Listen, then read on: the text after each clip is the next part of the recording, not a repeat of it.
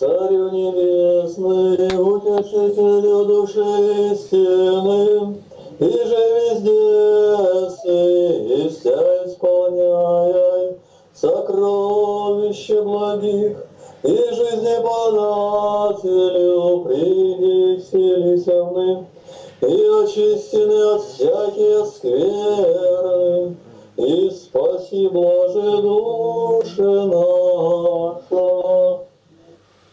Господи, благослови наше занятие, умудри, дай все слышанное, Господи, запомнить, принять, раствори это верою. И притвори в жизнь, чтобы на страшном суде мы предстали и сказали Тебе, Господи, мы сделали все, что Ты повелел. Хвала Тебе, честь и поклонение, Отец, Сын и Святой Дух. Аминь.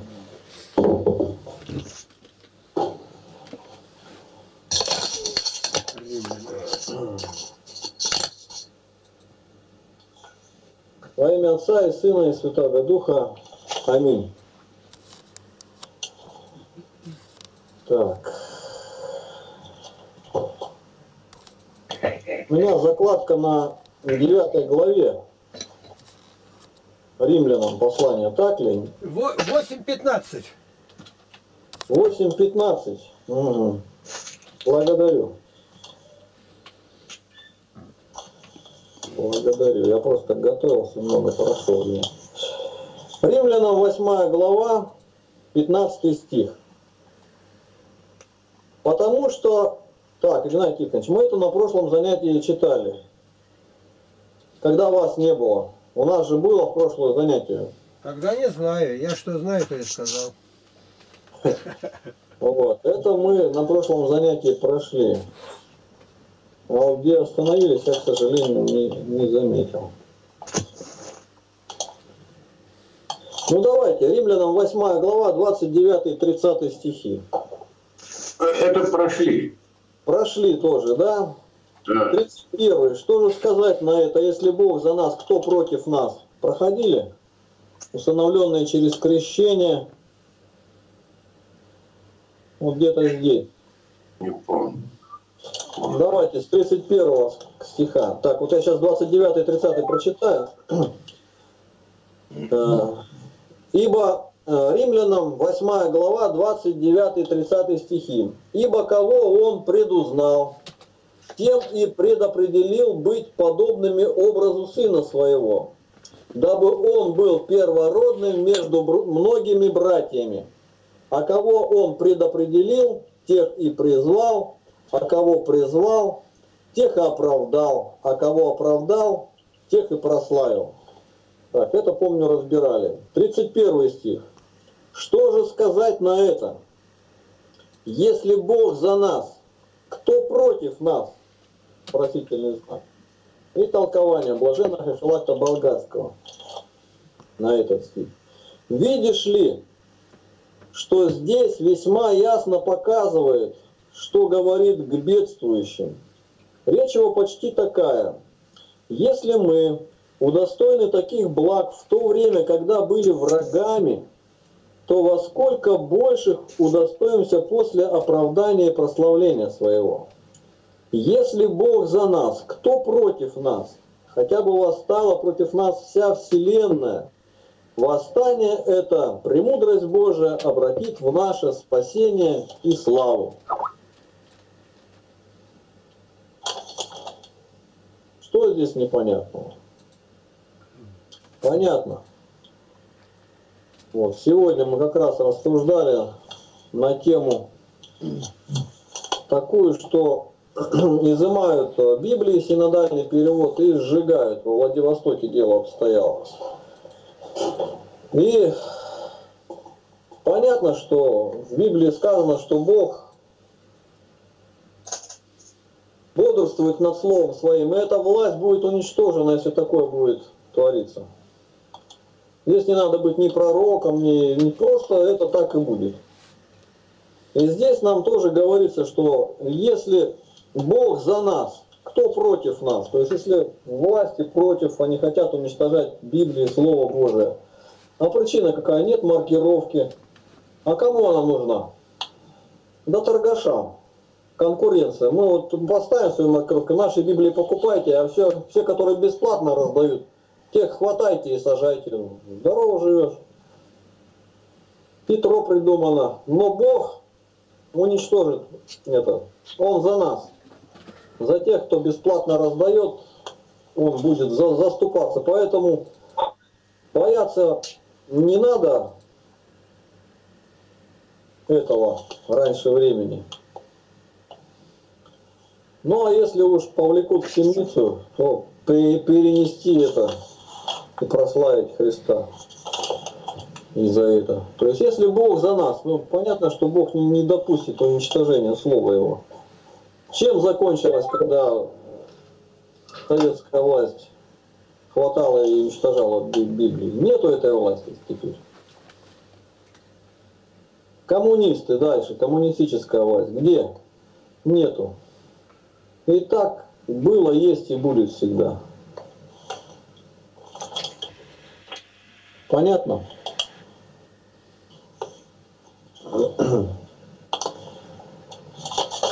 И далее в 32 стихе как бы расширяется. 32 стих. Тот, который сына своего не пощадил, но предал его за всех нас, как с ним не дарует нам и всего? Толкование. Представь себе, что он не пощадил сына своего, то есть единородного, возлюбленного, который из существа его, ибо есть сыны. А, Андрей из Беларуси, микрофончик отключи, что шипит у тебя. Ибо есть сыны Божии, усыновленные через крещение. Но предал его за нас, предал за всех, то есть благородных, неблагородных, славных, ничтожных, предал не просто, но на убиение. Как теперь не дарует он нам всего? Кто дал владыку, тот не дал ли прочих даров? Итак, если он не дает чего-нибудь, из этого не следует, что не дает вовсе. Поэтому не слишком желай освобождения, огорчаемый за Христа, ибо получишь желаемое, когда Он даст. Так, вопросы задавайте, пожалуйста, по этому отрывку, если есть.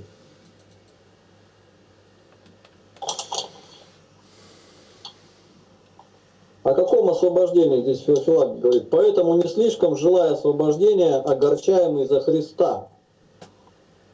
Освобождение от уз тюремных или о сегодняшних скорбях речь идет.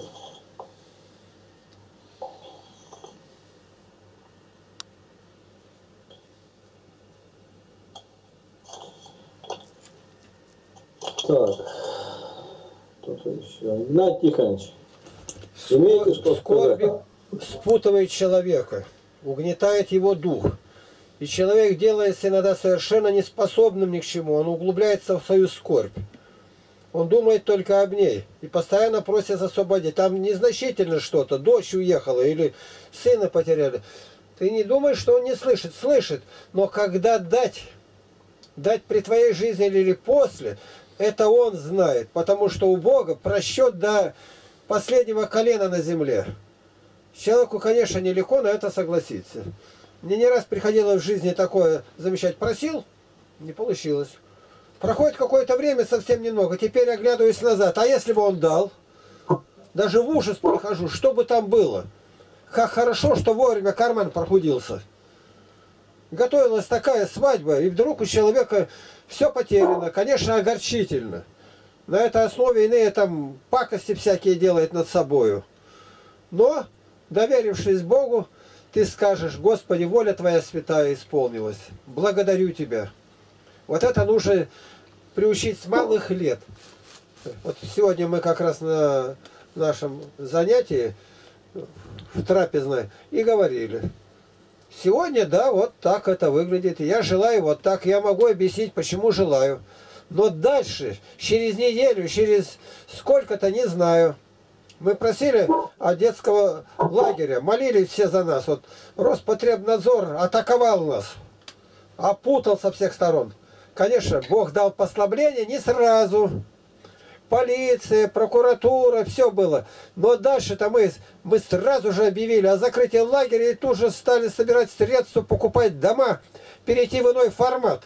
А если бы не напали, мы бы еще 45 и 46 лет были бы. Бог видит, что мы выросли из этой одежды. Мать по, посещала Самуила, когда отдала его отрокам. Каждый год приносила ему новую одежду. Он вырастал из нее. Он молодой человек, отрок рос. Так и мы. 45 лет, совершенный муж. И как мы благодарны Богу, что на нас напали. Теперь, когда смотрим, ничего они нам не сделали. Детей не прикоснулись пальцем. А мы-то теперь сейчас сколько уже думаем. Вот я ко всем, может быть, обращусь. Нам нужно срочно доставать три комбайна, комбайна кухонных.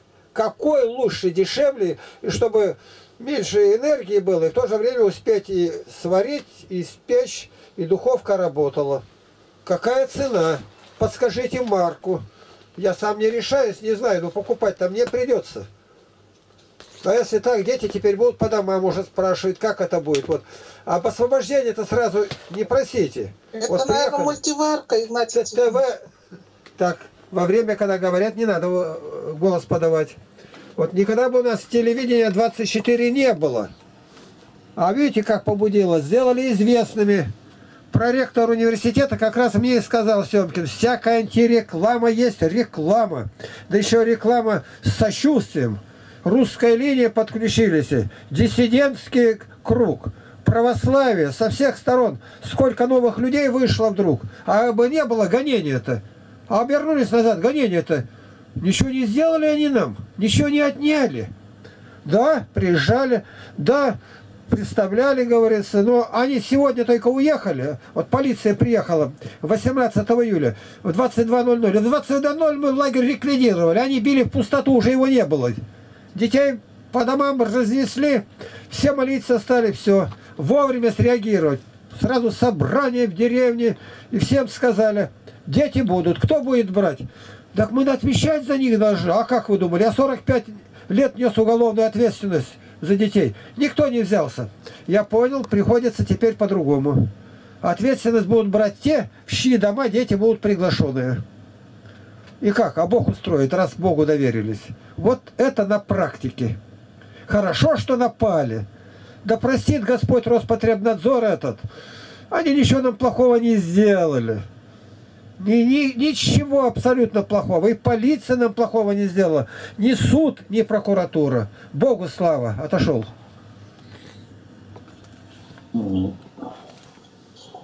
Послание к римлянам, 8 глава, 33 стих.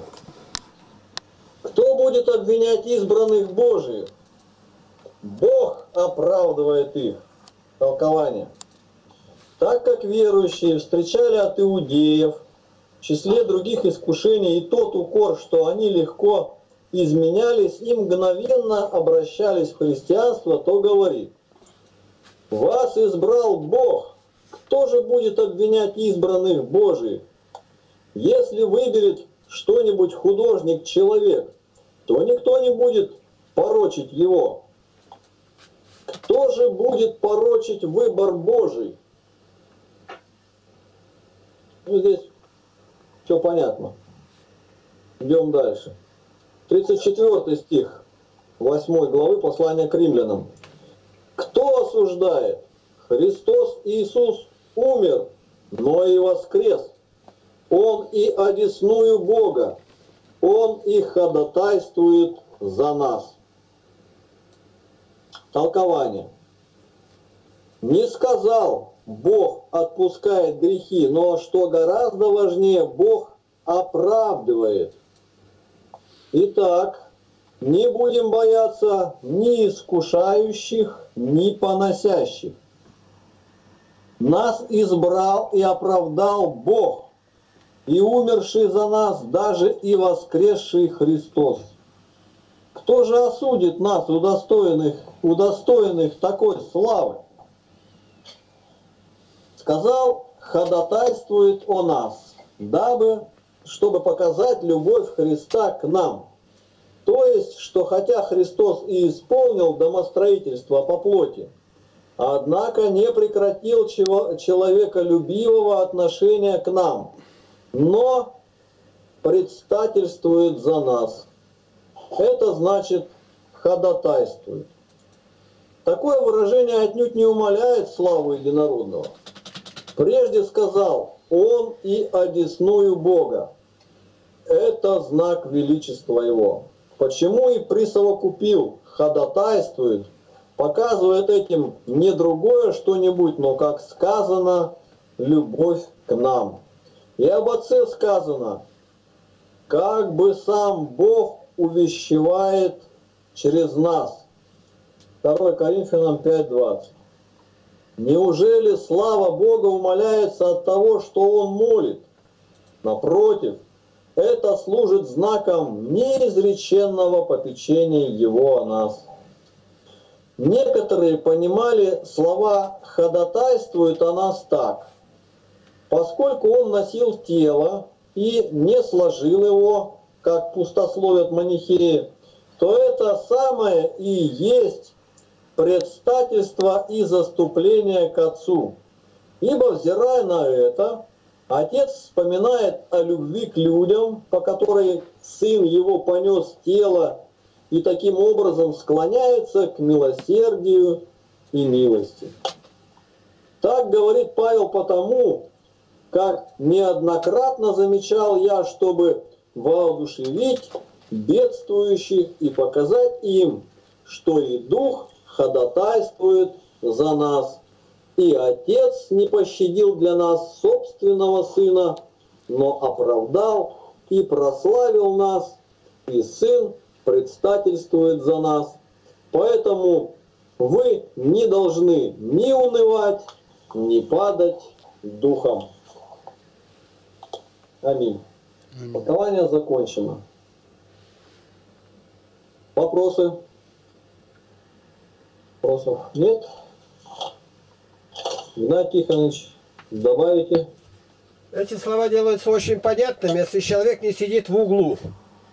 В его жизни это обязательно будет, притом каждый раз по возрастающей. Сначала небольшое испытание, человек прямо теряется, ничего еще не было, гляжу, совсем раскис.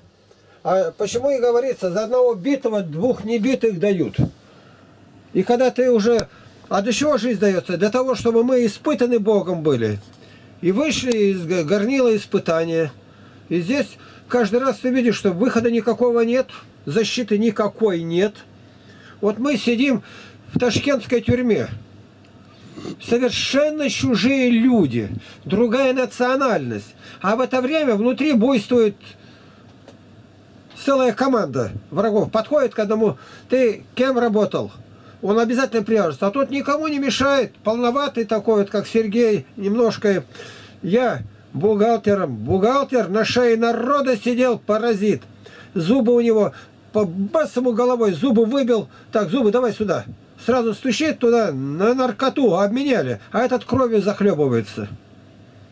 Я тоже сижу. И он не подходит даже. А почему я молюсь? Его никто и не допустит. На Бога надеюсь это. А чем я лучше? Ничем. И вдруг заедают клопы. Невозможно клопы. Никак, никак нельзя. Падают сверху просто вереницы, кровь везде.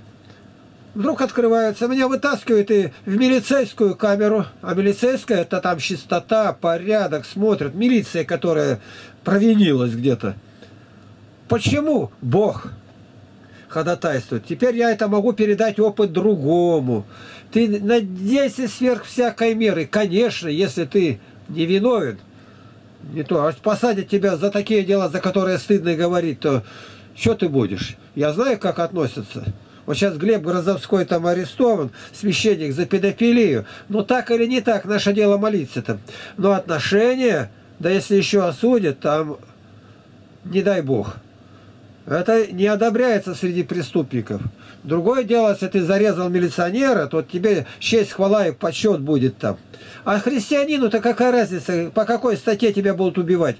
Ты знаешь, за Христа. и в это время другим свидетельствуй. И у тебя статус будет другой. Почему? Со Христом. Вот так. Отошел.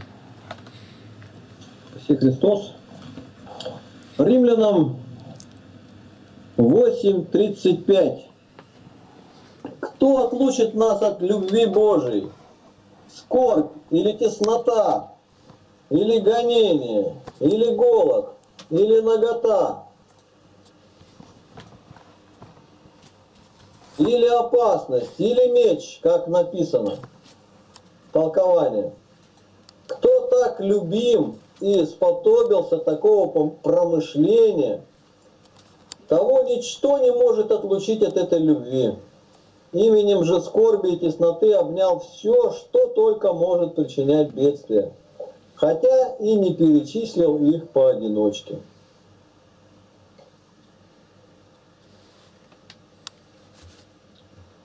Тридцать шестой стих. Послание к Римлянам, 8 глава. «За тебя умерщвляют нас всякий день, считают нас за овец обреченных на заклание» толкование. Дабы не почли скорбей и тесноты прекращением любви Божией, приводит слова пророка, предвещавшего о них и показавшего, что терпение или умерщвление всякий день для славы Божией составляет величайшее утешение.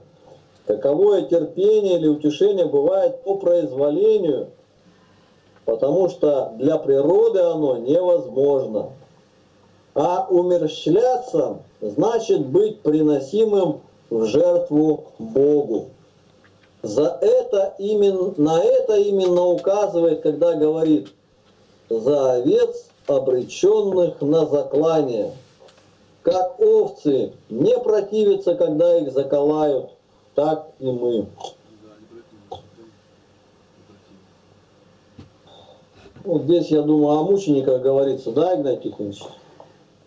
Ну, это надо Баба. понимать, и когда духовно начинает человека угнетать, Ян Златоуст говорит, это переносится даже еще труднее, когда тело терзают. Иов перенес страдания.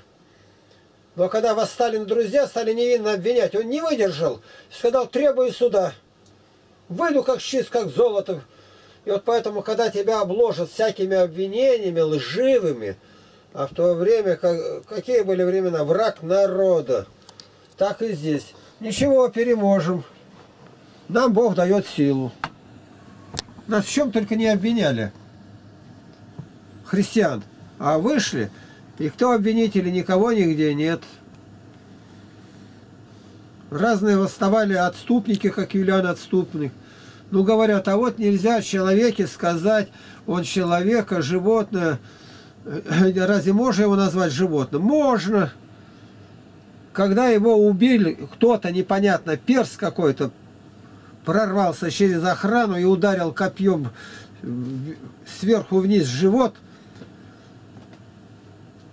то картина такая была. Василий Великий молился перед иконой святого Меркурия, а Меркурий это как, э, можно сказать, Александр Невский или Георгий Победоносец с копьем. И вдруг видит, киот, рамка пустая, нет никого. Он молится, проходит какое-то время, видит, в рамке стоит этой картины, из копья капает кровь. То есть Бог послал его и с иконы, чтобы он увидел это дело. И послышался голос, пало мерзкое животное, а это император, один из самых талантливых императоров Греции был. Но поднял руку на христиан, сделался отступником, вот такой, как сейчас вот Невзоров, он хулит и хулит православие. До того жалко, такой умница, Александр Глебович. Ну и умрет только с неба раздастся, пало мерзкое животное. Вы заранее даже это примерить сегодня. А как я буду переносить, когда будут поношения всякие? Богу доверяюсь. А как оправдаться? А зачем? Нигде не сказано. Так а тогда статья будет. Переможем. Не такое было. Отошел. Римлянам 8.37. Но все сие преодолеваем силою возлюбившего нас. Толкование. Сказав прежде, что нас умерщвляют, апостол, чтобы не ослабел кто, помышляя о человеческом, предлагает ободрение и не говорит побеждаем, но преодолеваем, то есть с легкостью, без трудов и пота, и при том тем, посредством чего строят нам козни. В том-то и состоит совершеннейшая победа, чтобы одерживать верх в то время, когда нас гонят и преследуют. Итак, не теряй веры, потому что нам способствует Бог, и не только способствует Он, но и возлюбил нас. Поэтому ничего нет удивительного в том, что мы легко одерживаем верх во время самых напастей.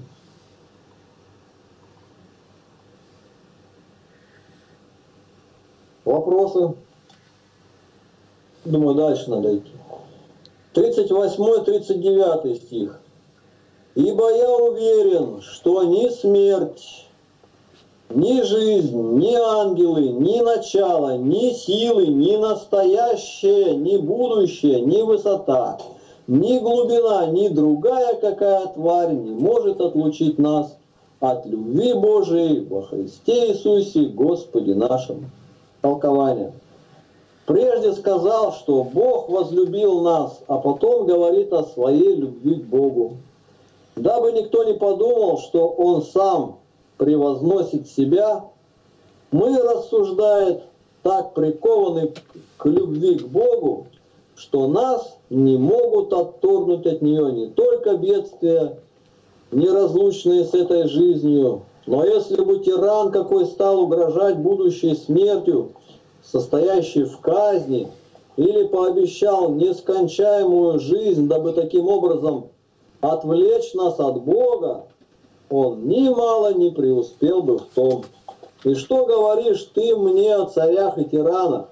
Нас не могут отвратить от любви той ни ангелы, ни все горние силы, ни настоящее, ни будущее, ни высота, то есть находящаяся в тебе, ни глубина, то есть находящаяся в земле, ни слава, ни бесславие, под высотой некоторые разумеют Царство Небесное, под глубиной потерю его.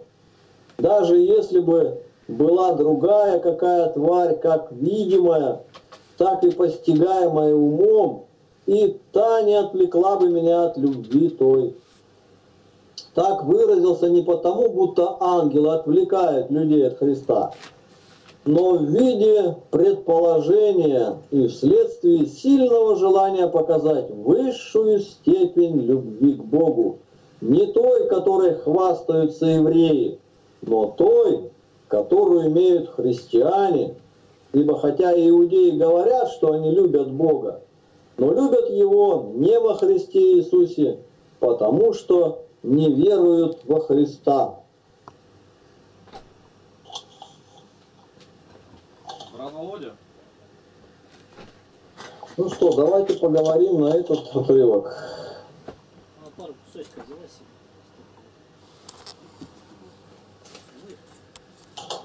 Ну, о любви Божией, конечно, здесь ничто не может нас отвлечить от любви Божией. Ничто и никто, и перечисляется. Она говорит, надо ей такую же купить, как Рождество. Понравилось. Ты уже будешь? Но вот здесь говорит нам толкователь, что иудеи говорят, что они любят Бога, но не во Христе Иисусе, потому что не веруют во Христа.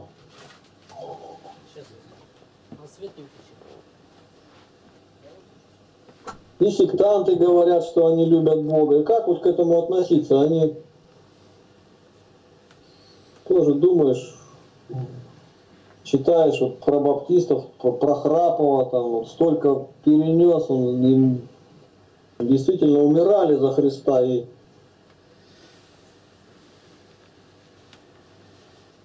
не знаю.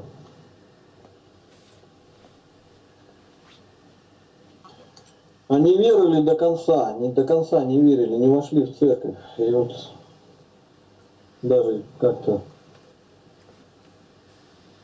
думаешь, Господи, если праведный едва спасается, едва, то вот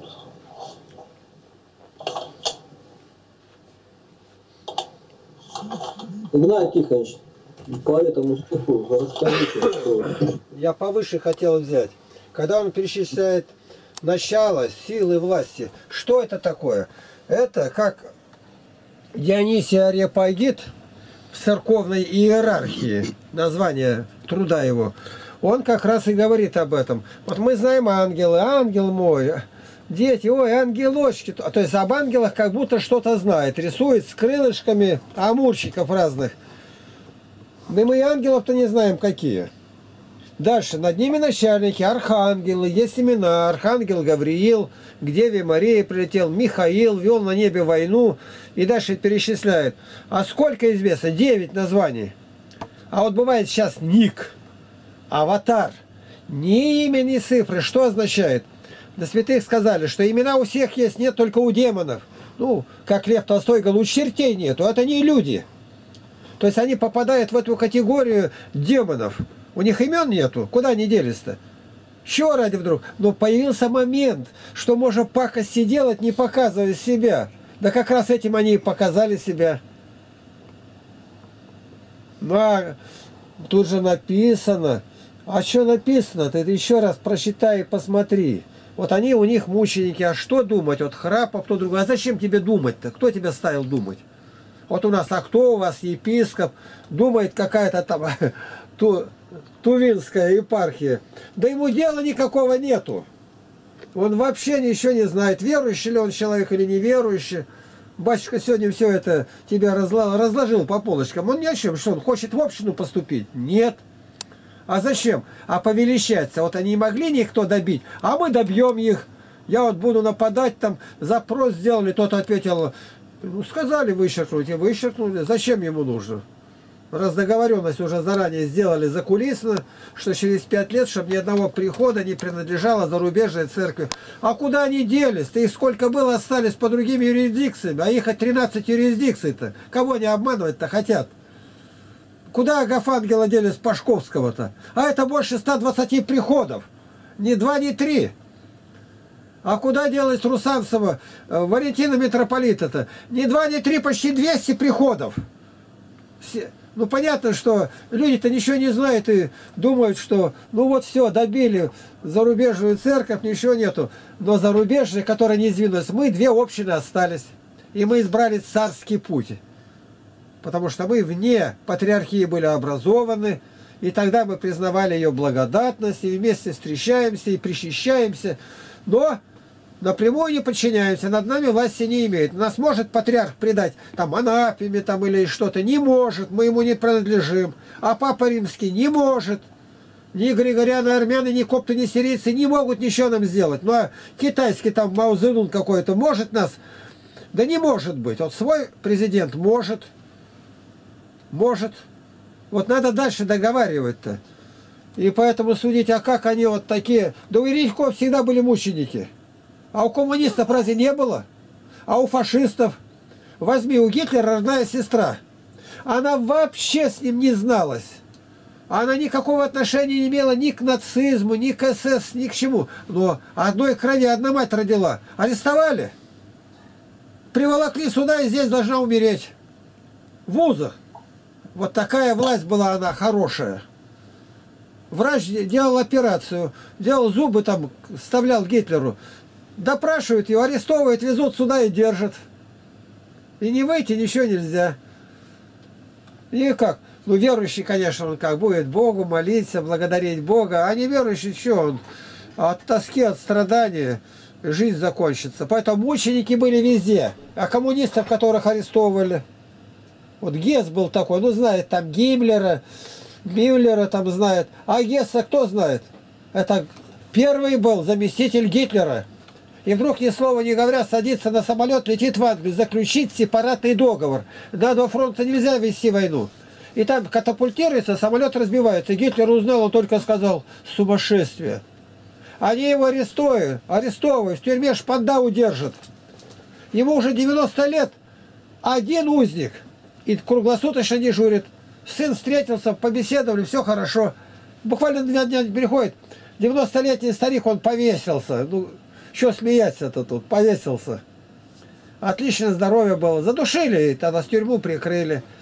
Потому и среди фашистов были мученики, и среди везде. Но мученик во Христе, по Слову Божию. А еретики, манихеи, ариане, несториане были мученики, много лет сидели. А как они? Да тебе зачем об этом думать? Как?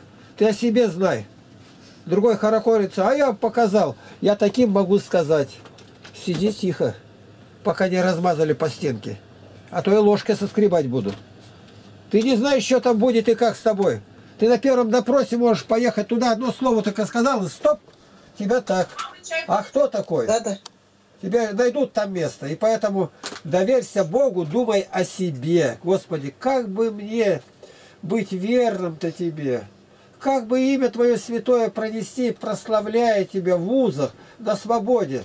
А если в семье непорядок, это тоже узы спутанные. Да не разводиться. Вот сегодня рассказывали, тут кое-кому я посылал, как молодые пришли к батюшке развенчиваться. Многие знают этот рассказ? Или нет? Что молчите-то? Нет, нет, расскажите. Успели развестись. Ну, молодые, пожили, пожили, не ладится. Жена не, не ладится, там над с работой не ладится, она упрекает, он не работает. И, ну и пошли, батюшка-то хороший у них. Батюшка, мы решили развестись. Развенчайте нас. А все-таки знает, что венчание это не ЗАГС. А батюшка их обоих знает. И причащались, ходили. Ну, хорошо, пошли в храм. Одел праздничную светлую одежду, зажег все светильники, поставил их перед амвоном. Там это, как выходит из алтаря, такая полукругом ступенька-то. Ну и взял Евангелие. А Евангелие-то, которое там запрестольное, оно закованное в железо 16 килограмм. Вообрази себе. Он вынес его и допрашивает. Иоанн, брат Иоанн, ты обязательно желаешь развестись с сестрой нашей, Еленою, и стать богоотступником. Так ли это он? Да, святые очи, так и есть. Хочу развестись. Он Евангелие поднял, благословил его, хлопнул по голове, на весь храм стук раздался. Тот еще не ощухался, он допрашивает Елену. И ты, сестра Елена, действительно хочешь развестись с братом Иоанном и сделать себя отступницей от православной веры? Да, очень святые, хочу. Он ее огрел сверху-то, благословил Евангелием. И, и опять пошел то к Иоанну, то к Елене, то к, от Елены, Елены к Иоанну.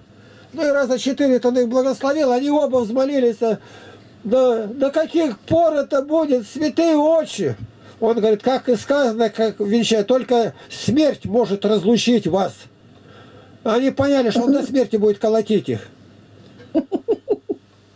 Только смерть может развенчать.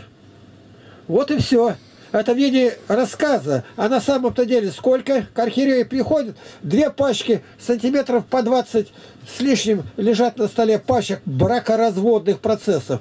И чуть не все удовлетворит архиерей. До архиерея власти нет. Если при живом муже или при живой жене написано «женится, выйдет замуж» кто?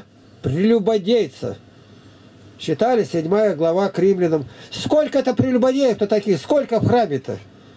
Еще начинают кого-то учить. Да ты глянь на свою поганую жизнь-то. Сколько ты оставил всякой беды-то везде.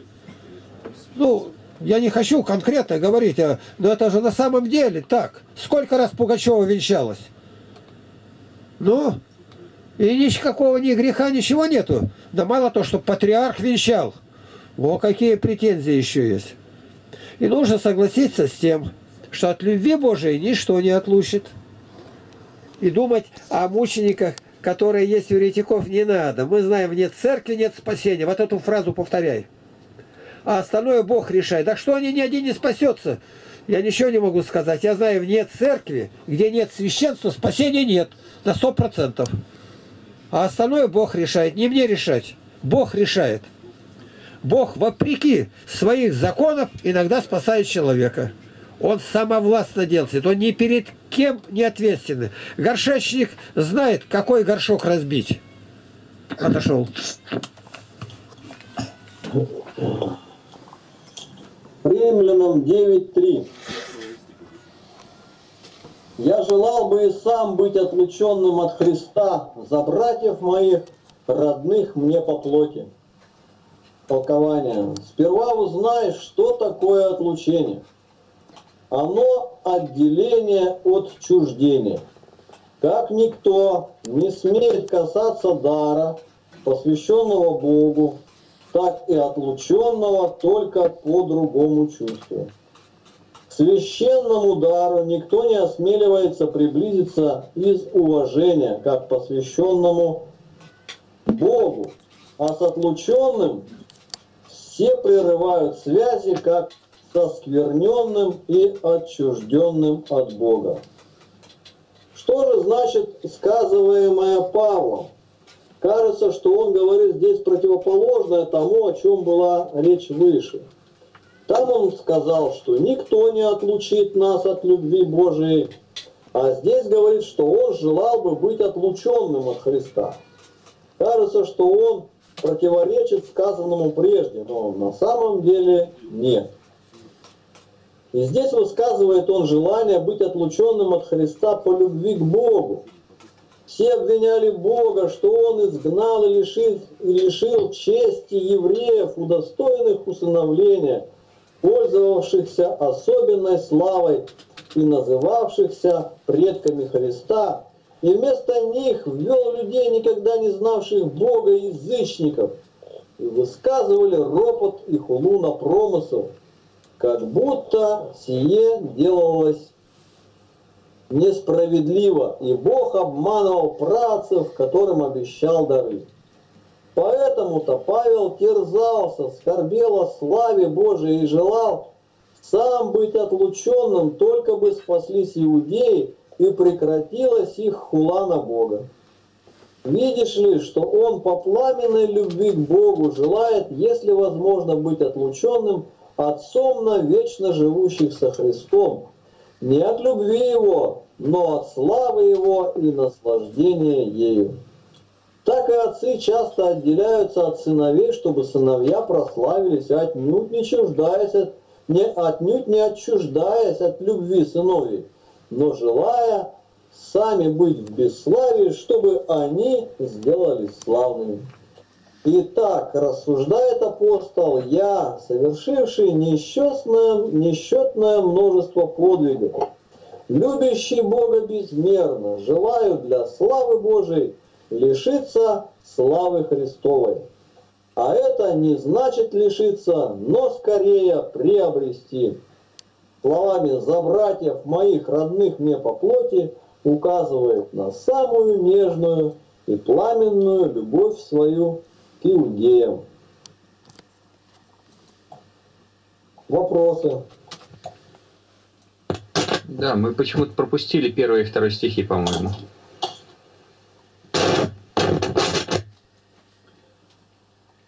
Первый и второй пропустили? Да.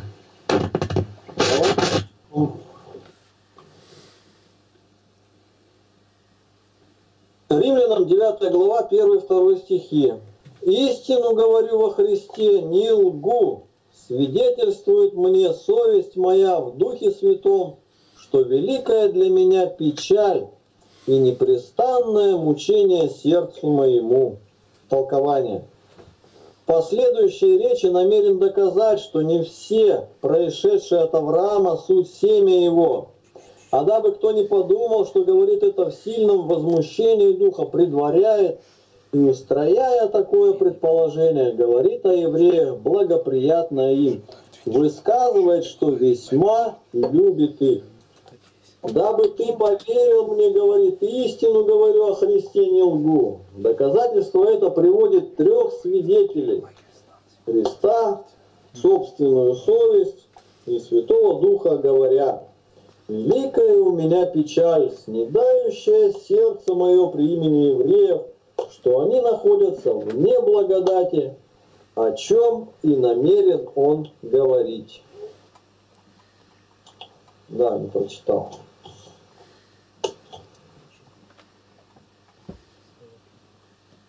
Ну вот от Игнатия Тихоновича я раньше слышал, что редко кто говорил о желании своем быть отлученным. Кто еще, Игнатий Тихонович, напомните, кроме Павла, такие высказывания делал? Я по исследованию пришел к заключению, что эти слова неразумные. Там говорится, отец желает славы, лишиться для сына. Тут разве сравнение такое может быть? Речь идет не о славе, которая быстро приходящая, а о вечности. Миллиарды лет может быть. И не видеть Христа и мучиться. Но от любви он сказал это, не понимая, что говорит. Апостолы многое не понимали.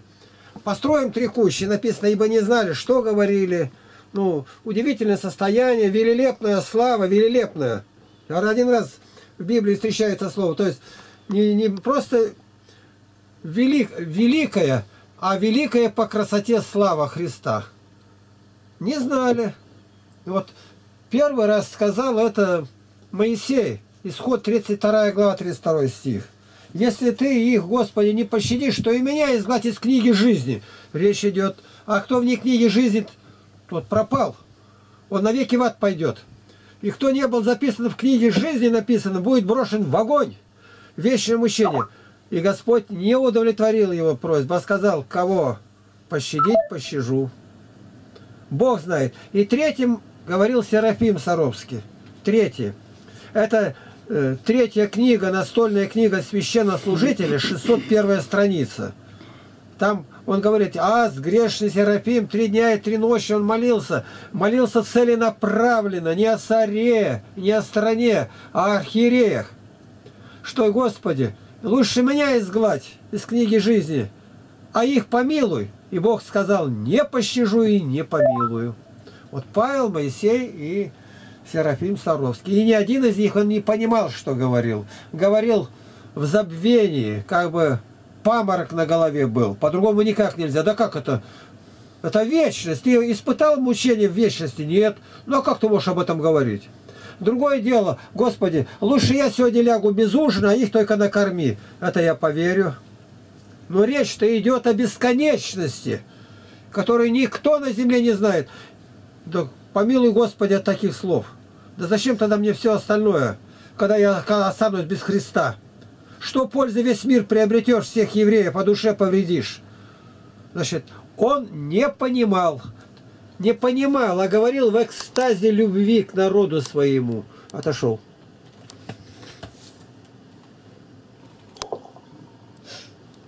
Послание к римлянам, 9 глава, 4-5 стихи то есть израильтян, которым принадлежат усыновление и слава, и заветы, и законоположение, и богослужение, и обетование. Их и отцы, и от них Христос по плоти, сущий над всем Бог, благословенный во веки. Аминь. Толкование. Здесь хвалит и превозносит иудеев, дабы кто, как я сказал, не подумал, будто говорит в сильном возмущении духа. Незаметно же высказывает, что Бог желал и им спастись.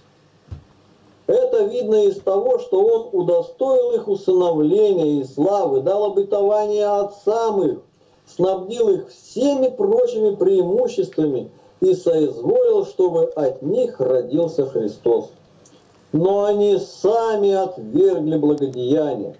Посему, изумляясь любви Божией, воссылает благодарение единородному и говорит, «Сущий над всеми Бог, благословенный вовеки».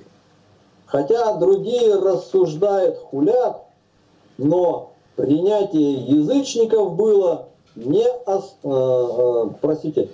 Хотя другие рассуждают, хулят, что принятие язычников было неосновательно, но мы, зная тайны Христовы, знаем, что Он достоин прославления. При этом должен посрамиться Арий, потому что Павел называет Христа Богом над всем.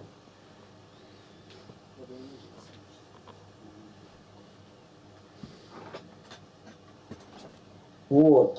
Должен Арий посрамиться, но когда свидетелям Иеговы этот стих приводишь, почему-то они в посрамление не, не приходят, не в смущение, ничего, как будто вот закрыто напрочь.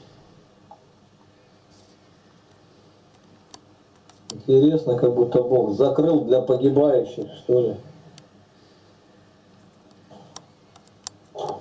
Вопросы? Геннадий Тихонович, вам слово.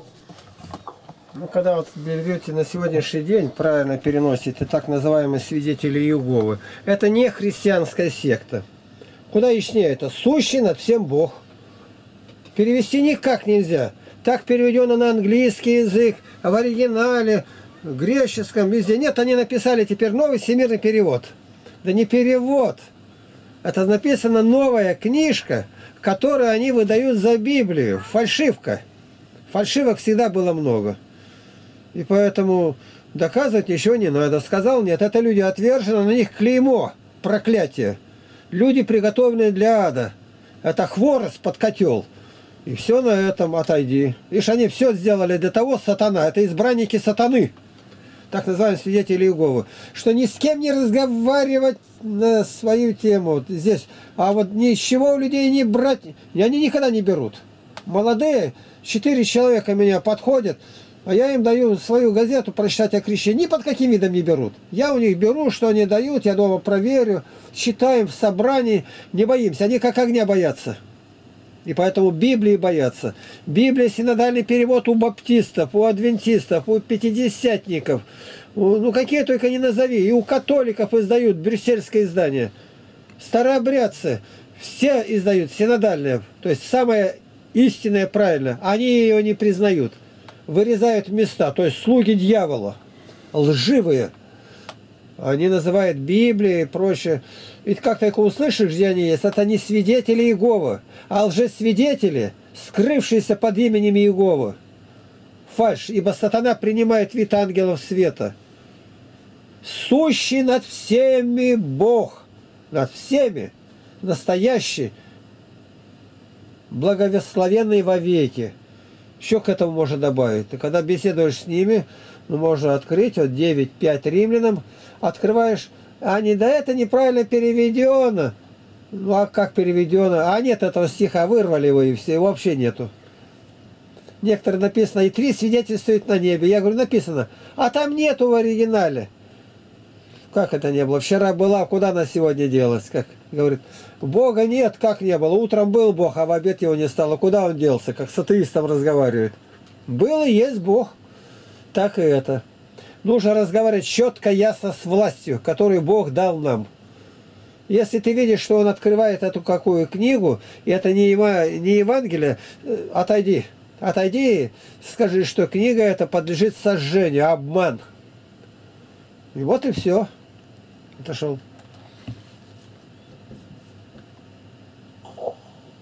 Римлянам 9.6. Не то, чтобы Слово Божие не сбылось. Ибо не все те израильтяне, которые от Израиля. Толкование.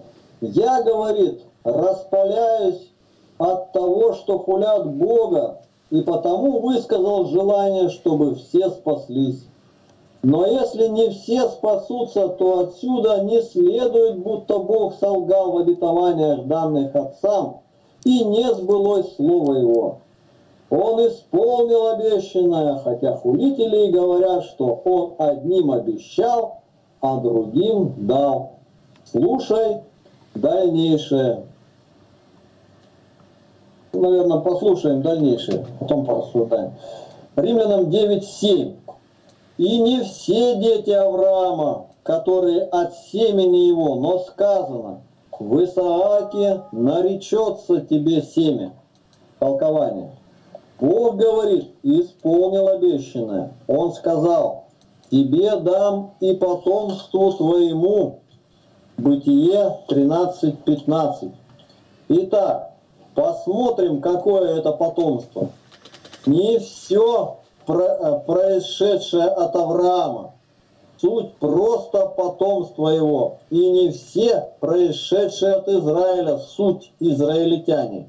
но родившиеся по примеру Исаака и знаменитые добродетелью Израиля, через которую он видел Бога. Ибо не сказал, который от Иакова, но от Израиля, упомянув о почетнейшем имени. Итак, если уразумеешь, что а, и- Итак, если уразумеешь, кто рождается по примеру Исаака, то найдешь, что обетование не ложно, ибо таковым даны обетования. Поэтому Бог отнюдь не заслуживает хулы, что Он сказал, то и исполнил, хотя некоторые и не понимают этого. Понятно, о чем речь? Ну, Игнатий Тихонович, еще раскройте, может быть. А что здесь можно не понимать-то, когда по слову все разложено? Любое здесь Ну да.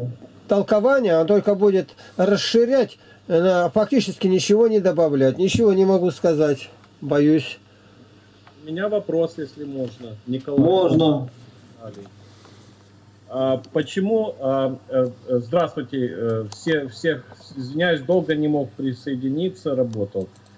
А, Значит, вот это, здесь растолковывается такая ситуация, что Господь Бог, получается, а, дал обетование по своему обетованию, а, а вопреки обвинителям, которые говорят, что он обет- а, обетовал, обещал одним, отдал другим. Но он говорит, что это неправда в этом послании. Значит, здесь есть такая у нас секта, ну, называется Назаряне, да, то есть, вот, э, ну, это мои такие вот, э, как у некоторых баптисты, там, знаете, ну, все мы приходим, возвращаемся домой из разных, так сказать, э, э, кривых путей. Так вот, у них в основе учения является то, что э, э, 10 э, племен Израилевых и Яковых, ну, Яков Израиль, да, вот, это, это есть европейские народы от Черного моря, от, от- от Армении до, до э, Англии.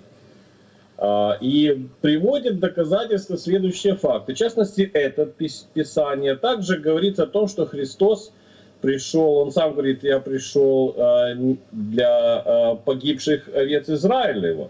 Когда у него спрашивают, женщина бежала, кричала за ним, и он отказал ей, э, сказал, что хлеб не дано, ну, как бы, ну, хлеб, хлеб, что положено хлеб дать э, э, псам и, и отдать детей, и, и, э, забрать детей и отдать псам. Это вторая статья, которую мы держим в голове. А, Также все, что говорит Господь, у него все слово и действие едино.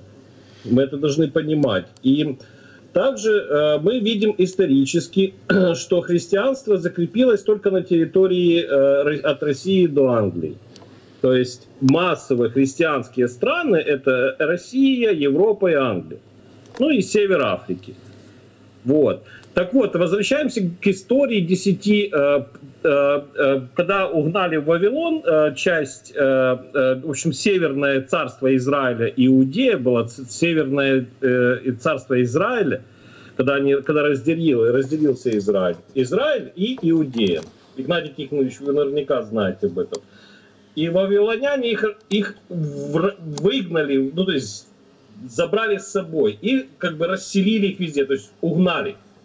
Осталась только Иудея. Вот. И они как бы расселились. И это считается 10 племен Израилевых или Якова, в общем-то, пропавшими. Но они не могли пропасть, это миллионы людей. Вот. Э, Соответственно, как бы их вот теоретически так вот предполагать, что они расселились, ушли на север. То есть север Средиземноморья, Черного э, моря и Каспия. Вот. То есть у нас европейские страны только там. Вот. э, В Китае проповедники, в Индии, то есть ну как-то не цепляется Слово Божье.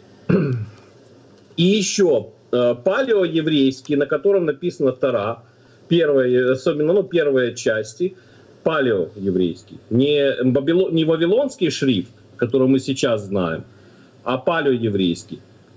Так вот, если мы положим на стол палеоеврейский, палеолатинский, это в районе Италии, и палеогреческий, а также палеоязыки северных народов, письменность э, имеется в виду, э, то э, схожесть удивительна. Вот. Э, То есть тогда интернета не было, могли только узн- не могли просто как-то, то есть это значит получается э, вот э, вот эта статья, вот как бы возможно вот то, что мы сейчас прочитали, эту, ну я извиняюсь, я просто ну как бы немножко не по-русски изъясняюсь, не статья, а главы из Писания, вот. Они получаются Существование- все вот это вместе. Я вот э, что вы думаете вот по поводу вот такого ви- видения ситуации? Это немножко российское си- э, видение. Я я согласен, что что идите и крестите все народы и учите всему, что я заповедовал вам. Ну и все на этом мы сами ответили. Закончил. Игнатий Тихонович, отвечайте.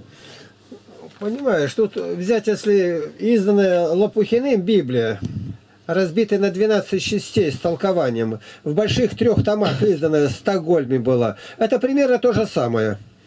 Я как-то достал ее, дорого, все, и привез в университет, я вел занятия, и решил по ней провести кое-кое, как два часа дотянул, я отдал эту Библию, не знаю даже кому, и больше в руки не взял. Никому это не надо. Ничего божественного в этом, что говорите, нету. На суде Божьем меня это не Согласен. спросится. И доказать ничего нельзя, то есть для спора. Но для этого есть там палеонтологи, есть, которые занимаются религиоведением, им это хлеб насущный.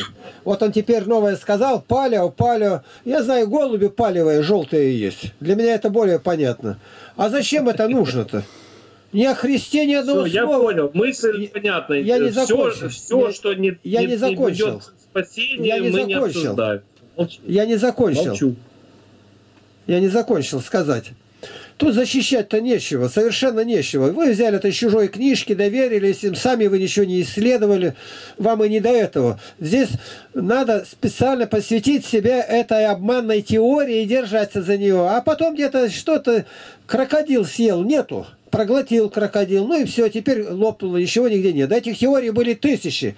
Куда Израиль расселился, собрал Бог воедино написано. 13-14 книга пророка Исаия, и мы должны в это поверить. 10 колен там от, расселились где-то, да евреи везде есть, по всему миру, и русские люди по всему миру есть, вы вот в Австралии, например, есть. Нам это не надо, Николай, больше никогда не рассказывайте это.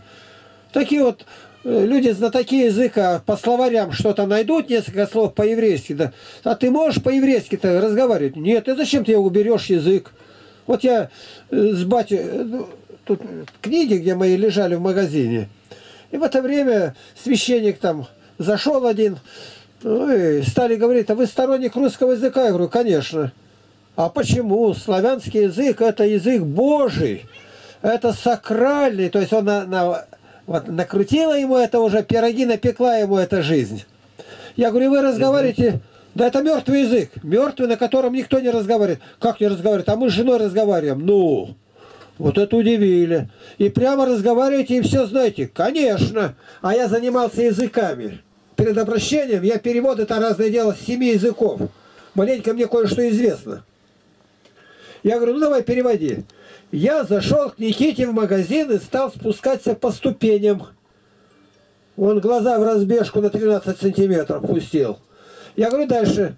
И наступил на развязавшийся шнурок и упал и расквасил упрямый поповский нос. И потекли у меня сопли с кровью. Переводи. Да ты засохнешь у меня здесь в магазине и домой не придешь, и попадя тебя не увидеть никогда больше. Все, скис мой его как шар проткнуло. Что ты врешь людям-то? Я говорю, ты не знаешь его, и никто его не знает. Никто. Нету знатоков славянского языка. Вы думаете, профессор знает? Нет, конечно, по программе. Это мертвый язык, искусственно выдуманный. Кирилл и Мефодий придумали этот язык с разных народов, слова понатолкали в него.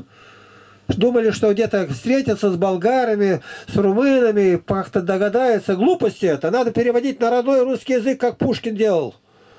Как делали святые отцы. Вот это нам необходимо. Ну а это что говорите? Да никому это не надо, мура это. Пыль на уши. Нужно а, сказать одно.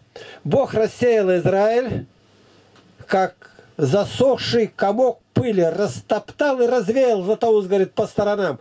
Но придет время, и Дух Святой скажет костям, Дух, дохни на кости, и оживились, и плотью оделись, но лежат одни трупы. Дух, дохни, и дух дохнет и восстанет это полчище, то есть мертвый Израиль восстанет, не погибшие овцы Израиля. И остаток спасется. Вот это обнадеживает, это радует. И поэтому я с радостью встречаюсь с каждым евреем, какой бы он ни был. Даже вот один тут сильно нападал, Душенов, и написал статью последнюю перед арестом. Пучеглазая, горбоносая сволочь, заголовок.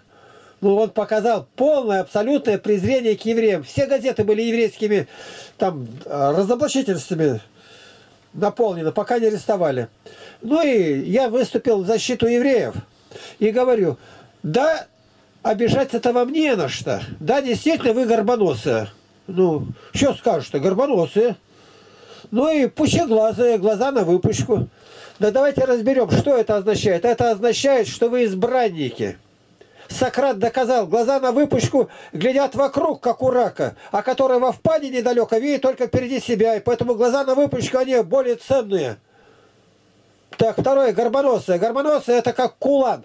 Такие, как в виде лошадей, ослов, вот, в казахских степях-то. И там воздух легче прогревается, горбоносые это. Это избранники Божии. Им Бог особый нос дал горбатый и глаза на выпучку, чтобы видно было, это избранный народ. И евреи утихли. Ну, а тот совсем дали срок, отсидел. Сейчас как будто евреев никогда не было, не говорит. Теперь на Сирию только нападает. А до этого с мусульманами знался, говорит, спал и ел. Пока стукнули один раз, все, кончилось, пыль пошла, и, и все эти пали его и ушли в сторону. Не доверяйтесь, Николай, ничему. Евангелия нет этих слов. Выбросьте из головы. нужно от- Отошел. как грамотно ответить. Вот я все понял. Отошел. Мне, мне, мне ответ ясен. Удовлетворен. Да, отошел. Так. Еще вопросы, пожалуйста. Если вопросов нет, то идем дальше. Римлянам 9.8. То есть не плотские дети суть дети Божии, но дети обетования признаются за семя. А слово обетования таково. В это же время приду, и у Сары будет сын. Не я, говорит, объясняю тебе, что такое истинно семя Авраама, но Ветхий Завет, который говорит, в Исааке наречется тебе семя. Бытие 21.12. Посему, кто родился по примеру Исаака, то есть по обетованию, те поистине суть дети Авраама, а наипаче Божии. Ибо все совершалось Словом Божьим. И Исаак родился не по закону и силе природы, но по силе обетования. В это же время приду, и у Сарры будет сын. Читаем Бытие 18.10. Итак, Исаак образован и рожден Словом Божьим. Так и над нами, чадами Божьими, в купели водной, как бы во утробе, произнося слова Божии, которые образуют нас, потому что мы, крещаясь во имя Отца и Сына и Святого Духа, рождаемся. И как там Бог обещал рождение Исаака, и потом исполнил он это, так и наше рождение обещал он через пророков, и потом привел он это в исполнение. Поэтому слова «в Исааке наречется тебе семя» следует понимать так. Семя Авраама – суть те, которые родились по примеру Исаакова рождения. То есть, далее подчеркнуто и выделено жирным, Словом Божиим. Следовательно, Слово Божие сбылось, но Бог даровал обетование истинному семени, то есть верующим из язычников, сделавшихся чадами Божьими, как и Исаак, потому что и они от обетования. Если же иудеи скажут, что Слова в Исааке «наречется тебе семя» означают то, что родившиеся от Исаака причитаются в семя Авраама, то следует почитать иудеев, и всех Идумеев. происшедших от него. Что? А, Идумеев, простите. И всех происшедших от него, потому что праотец их Исаак был сын Исаака. Но Идумеи не только не называются сыновьями Авраама, но даже весьма чужды израильтянам и называются иноплеменниками. И на слова рождения Слова Божьим Игнатий Тихонович дает небольшой комментарий. Итак, читаю комментарий. Игнатий Тихонович Лапкин. Сегодняшнее учение православной церкви о рождении свыше совершенно не сходится со священным писанием или даже отсутствует. Утверждают, что рождение происходит от воды и духа, но нет ни того, ни другого. Душа, не оплодотворенная семенем Слова Божия, не может никогда родиться свыше. Поэтому все, что делается в крестильных комнатах, есть не рождение, а удушение. И если бы даже крестили в полное погружение, также не научая, то ситуацию это нисколько не выправит. Был сухой мертвый грешник, а ушел мокрый мертвый грешник. Вот. То есть обетование это относится к духовному. То есть Исаак, Бог Исаака обещал, потому что у Сары она бесплодная была, и в это трудно было поверить. Но Авраам поверил в это, и это вменилось ему праведник, в праведность. И мы поверили во Христа, и теперь тоже мы рождены от Слова Божия. Христиане истинные, не те, которые называют себя христианами, у которых рождения свыше не было. Конечно, им трудно это понять, они начинают рассуждать, а вот Исаака это вот только вот там Европа, это, это, это, а в Китае и, и- и не, не будет христиан. Будет, если они поверят. Поверить может любой везде. Любой сейчас может зайти, слушать наше занятие и поверить. Будь он китаец, японец, француз или даже еврей. Закоренел иудей. Вот, обетование это не по плоти, а еще раз говорю, по духу, от Слова Божия. Кто будет веровать и креститься, спасен будет. Веровать на первом месте стоит. А то, что сегодня в православии ни того, ни другого нет, ну, беда это, конечно. Пираты захватили корабль. Но мы говорим об этом. И от этого обетования оно не, не исчезает. На нас же оно исполнилось, мы же уверовали, значит. Бог верен Слову Своему. А так рассуждать одним обещал, а дал другим, так те не уверовали, а другие уверовали, где же он? Он обещал тем, кто уверует в Слово Его. Понятно? Вопросы? Сергей, можно вопрос? э, У меня вопрос по 8.37 Римляна. Можно назад чуть-чуть вернуться? Да. Давай. Вот тут Феофилак дает такое толкование. Но преодолеваем, то есть с легкостью, без трудов и пота. То есть понятно, то есть силой возлюбившего нас преодолеваем. А вот дальше, и при том тем, посредством чего строят нам козни. Вот это вот посредством чего строят нам козни, если можно, пример какой-нибудь привести. Ну вот только что Илья Тихонович привел Роспотребнадзор. Они строили нам козни, дали такую антирекламу, а на самом деле весь мир узнал о нашем лагере. То есть посредством их козней, ну, а если бы ничего не было, то и никто бы ничего бы и, и тысячи там, э, и тысячи людей молились за об этом деле. Ну, а тут же речь идет преодолеваем посредством. А, ну, а мы все как, ну, пре- преодолеваем посредством, ну, любви Божией. Без Бога бы мы бы это ничего не преодолели. Где еще видано, чтобы Роспотребнадзор в других-то лагерях все позакрывали? А, а наш лагерь, потому что мы верили Богу и доверились Ему. И то, что они хотели сделать нам зло, обратилось в добро. Мы ничего не потеряли.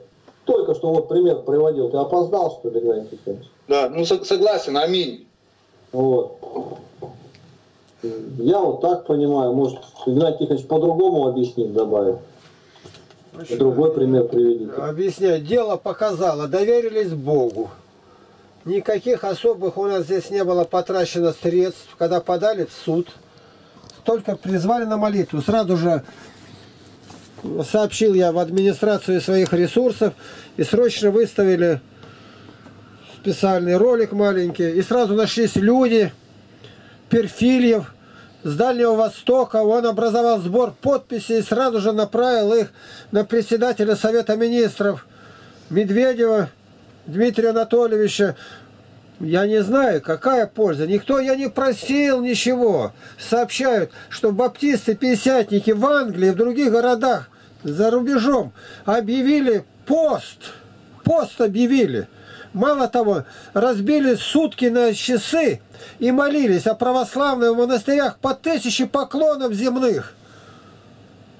Понимаете, я ни, никому не писал больше, я только сообщил, что Бог, мы полностью ему доверились, а сами в это время мы не прятались. Продолжал лагерь действовать, все. А как действовать? Уже по домам. Притом среди ночи ликвидировали его. 45 лет как будто не был. Я начальник издал указ. Лагерь ликвидируется. Его больше не будет. В этой обстановке нельзя находиться ему. Это та организация Роспотребнадзор, численность которой 110 тысяч человек, облеченные властью. На их вызовы, на их жалобы реагирует прокуратура, суды, полиция. То есть даже и говорить не надо, не- что там я, козявка какая. Мы это приняли, но не приняли как поражение. Поражения никакого не было. Почему? А потому что мы спрятали детей, они караулят, полиция меняется, сутки вторые дежурят вахтовым методом, а в лагере никого нет. И отец Аким пришел и разговаривает с ними, они двое там лежат, там дрыхнут, молодые крепкие ребята. Он говорит, а что вы здесь делаете? Ну вот, заспанные такие днем. Ну что вы делаете? Говорит, ребятишки у нас говорит, в деревне боятся на улицу выйти. А чего? Ну, полиция с оружием здесь, ведь могут и... Да мы же не стрелять будем. Он говорит, только этого еще вам не хватало здесь. Ну а зачем вы здесь? Ну а нам сказали, мы здесь. А что я должен в колхозе за полторы тысячи на зем выбрасывать это навоз после коров? Ну молодые ребята, а им платят тысяч пятнадцать, там, двадцать, я не знаю сколько. Понятно. Ну немножко им сказали. А мы в это время активно работали. Как работали? Молились, ходили, собирали ягоды, а они по деревне туда-сюда, в лагерь заходят, никого нету. Там а дежурный один все снимает, они спрашивают, он не отвечает, то есть мы заранее провели репетицию. Закрыли в некоторых областях, как Екатеринбургская, все до одного лагеря государственное. Просто так они не уходят. Это люди, которым поставлена задача погубить. Я, я вот просчитал после этого, ну много, сколько, я не знаю, примерно 30 закрытий лагерей, и они накладывают штрафы. Полторы миллиона, полтора миллиона. Это понятно, что никак, а суды конфисковывать могут, что угодно, комбайны, там трактора. Нам ничего, ни рубля не присудили, нигде нету. Они судят, а лагеря нету. И они первые должны попросить, чтобы лагерь закрыли на 90 дней. 90 дней, когда его нету. 90 дней его вообще срока такого у меня даже не было. А у них других норм-то не было. Детей где-то арестовывали, держали, не кормили в автобусах. У нас ничего этого не было. Только мы показали, как среди ночи дети убегают полураздетые, бегут в ночь, и там впереди их сверкают молнии гроза. Это вообще боевик настоящий. Как бегут ребятишки. Почему мы заранее это все было продумано? А как вы могли это знать? Бог. Бог. А Бог для чего? И знаю, в, в эксперименте, как это будет, Сергей Павлович как раз участвовал. Вот, а ему дали задание, он в лагере остановится. Молчат, он, ты вот что, с дурдома что ли сбежал? То помалкивает стоит, глаза к небу подкатил и молится стоит. И Василий тут, который как бы из Роспотребнадзора нападал, то он вот он стоит, приехал сейчас. Его дети были. А мне сейчас звонят, лагерь будет действовать? Лагеря нету, друзья мои, но дети будут. Будут. И мы сейчас уже узнаем. И все это э, стараемся под контроль поставить юриспруденции. С адвокатами советуюсь. Скажите, а вот это как? Я еще с прокуратурой посоветуюсь заранее. Могут ли они проникнуть? Пока нигде лазейки мы им не оставили. В каждом доме, чтобы своя была кухня. А некоторые советуют, надо в одном месте, там потом собираться. Нет, это не пойдет. Только так, просто в гостях. А уже собираться, молиться, гимнастикой заниматься, купаться, мы будем вместе все собираться по ягоды. Нам это никто не запретит. Они запрещают только это кухня и сон. А вот тут мы сразу ударили по всем клавишам. И они рты раскрыли. А где-нибудь кто-нибудь так поступил еще во всей стране России? Никто. А почему не волятся? Ну, у вас и опыт, всем нет сколько писали. Это как вы могли заранее? Они приехали, и те же слова задают, которые мы потренировали. Говорят, ты вот так отвечай, а ты молчи. И они как один в один, все так и получилось. Заранее обдумали. Почему? Нельзя их перехитрить. Их не переплюнешь, они институты кончают. Они подключают и КГБ тогда ФСБ, приезжали даже такие люди, и ничего нигде не взяли, а мы им засвидетельствовали по-хорошему, не нагрубили ничего, все кончилось. И после этого еще начальник уголовного розыска приезжал, нас искал. Ему засвидетельствовали, визитки дали, побеседовали. Я приехал не что-то, а вот хотел узнать, а как вы относитесь к Путину? О, куда дошло-то? Наша лояльность, не, не перевернем ли мы страну и политику Путина? Я говорю, нет, конечно, мы молимся за него. Ну а если как-то, если не может быть, мы христиане. И вот недавно поступило письмо с организацией местной по этому вопросу, чтобы мы заранее поставили себя на учет, чтобы они пришли нас душить летом. Я говорю, нашли дураков. Я им засвидетельствовал все и пошли назад. Не будет больше этого. Вы на нас ни рубля не заработаете. Есть такой э, кавказский пленник Льва Толстого. Жилин тот, он сказал, я все равно убегу. А убьете, говорит, копейки не получите. А Костылин сидел, гнил там в земляной яме-то, большой выкуп, и дали его полуживого привезли. Ну, надо работать. А мы работали. Работали в простоте сердца, и Бог нас возвысил. Сколько похвальных отовсюду было. Вот это ТВ-24 приехало. Да не один день были. Больше четырех часов, кажется, 4.40. Правда, не все пропустили, но записали, а мы-то ролики все выставили. А сколько людей смотрело. Сейчас целые ролики составляют на этом материале. Люди, которые, ну, бывает к нам расположены, бывает, там называется свет Христов, а там адский тьмой покрыто все адской. Всякие пакости, то другое. На наших, ну, кормятся на наших роликах. Они по неволе другие будут. Они выискивают что-то, но выискивать он должен просматривать, и он видит, ничего там нету. Мы поступили так, как надо поступить, и никто до этого не додумался. Почему? Нет доверия Богу. А мы доверились Богу. И главное, вышли оттуда, с Москвы, на нашего митрополита здесь, московского патриархата. И он какую дал мне блестящую характеристику. А в это время еще статья появляется доктора богословия, профессора. Там девятый номер «Покров». Барнаульской метрополии. Видите как? Этого ничего бы не было, если бы они не напали.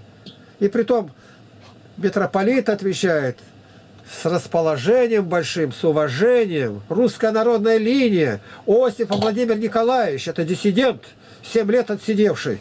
Он мне звонит, я ему объясняю, печатают статью. Там сколько людей поднялось, разных организаций. Мне каждый день несколько телестудий, одна, другая, с разных городов. Никому не разрешили, но эти очень настойчивые. День, другой звонят. Я разрешил, наконец, в течение полтора дня уже были в Потеряевке. Ну и все видно, как снимают. Какой ущерб? Наоборот, это милость Божия, благодать коснулась нас. Сколько людей это услышали. И после этого к нам отношение хуже не стало. Один только человек злорадствовал из Филадельфии, из Куратовский Виктор, аж шлопался от злости. Наконец-то этого упыря прихлопнули. Наконец-то давите его там, давите его. Это Бог услышал молитву. А когда все отступилось, он скрылся и уползла змея в траву. Ну, что спрашивать-то? И засланец как бы от баптистов православия. Ну, пожалеть только можно его, больше ничего. А я ему сказал, Скуратовский, это Скуратов Малюта задавил, задушил митрополита Филиппа. Это его осколки. Они нас пытаются душить, но мы недосягаемые для них. Они разные там ролики составляли, придумывали. Пришлось даже жалобу написать прокурору э, Караганды, Казахстана. И там как взяли за этих хулителей-то, все заглохло и все убрали с интернета. А то голову мою, жены отрезали, всякие там пакости-пакости делали. Ну, безбожники. А почему? Сейчас исповедуются, чаще причащайся. Вот эта зараза их коснулась. Миссионерские отделы. Миссионерские отделы это дыра в преисподнюю, их нельзя создать. Можно создать певческие курсы, проповеднические, миссионерские нельзя создавать. Это обман. По два человека и в разные стороны, как учил товарищ Ленин. Вот так надо. Отошел. Ну я понял. Короче, полное доверие Богу, и все невзгоды Господь будет решать сам за тебя. Я понял. Да, дорогой ты мой брат Андрей, тебе ли это не знать, когда ты был и трудился у меня здесь, на пруду? Да, да, да, да, я понял, я понял. Вспомни, Я как понял. были. Вы хорошие труженики, Да. вы себе оставили прекрасную память. Слава Богу. Получили святое крещение в полное погружение. А крещение сказать. Вот написано, и крестились во имя Господа Иисуса Христа. А написано во имя Отца и Сына Святого Духа. А как правильно? И не сообразовалась секта. Единственники называются. Они не поняли, в чем дело. Это означает с верой в Иисуса Христа. А слова произносятся во имя Отца, аминь. И Сына, аминь. И Духа Святого, аминь. Другого нету. Они эти слова не могут соединить. Почему? Узость взгляда. То есть в чистом виде сектантство. Они стих вырвут, а дальше не знают, что с ним делать. Православие – это широта, это объемность, это вся Библия в совокупности. И кто здесь православный, научитесь это ценить. И смело отвечай, спросят, какой веры? Православной. Христианин православной веры. А, а сектанты, когда спрашиваешь, а, христианин Вадим, христианин Сергей, христианин Александр, а православный прямо пишет, христианка православная. Нам не стыдиться надо слова православное, а стыдиться других слов, названий. Конфессия, запомните, конфессия, деноминация, нет этих слов, это сатана придумал, а это заменил сатана слово ересь. Где конфессия, деноминация, там ересь стоит. Есть ересь и истина. Православие это истина, а остальное ересь. Отошел. Спасибо. Христос. Так, ну на этом время вышло сегодняшних занятий. Помолимся.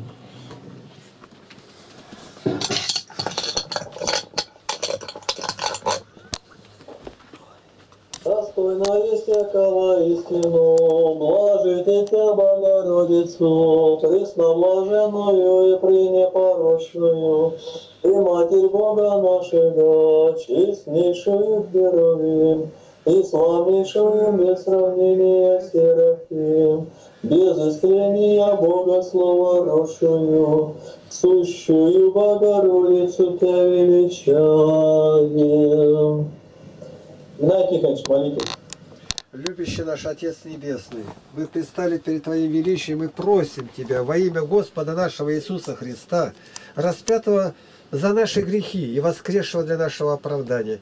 Прими наши молитвы за этот чудный воскресный день.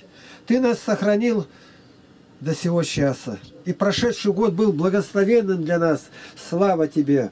Благослови, Господи, чтобы этот год был также для славы Твоего имени. Не нам, не нам, Господи, но и имени Твоему дай славу и всех приходящих на эти занятия. Благослови обильно и в семейной жизни, дабы имя Твое святое сияло в жизни православных христиан. Благослови патриарха, епископов, священников, всем даруй духовное рождение, правителей, и сохрани их от покушения на них, и даруй мир Израилю, России, Украине и Сирии. Распусти нас с миром. Тебе, Божья хвала, слава, честь и поклонение, Отец, Сын и Святой Дух. Аминь. Аминь. Сергей э, Павлович, ты имей в виду, начинай собирать людей минут за семь раньше, WhatsApp заправила, за семь. И ровно, ровно в 6, чтобы начало уже началось. А то вчера, или когда, три дня назад, там параллельно уже начали собираться, и это не годится. Ты никаких опозданий не должно быть. Сам себя прижми. А то есть у тебя обычай приходить вовремя или даже опоздать, а тут не годится. Вот так, отключай нас, пожалуйста. Хорошо.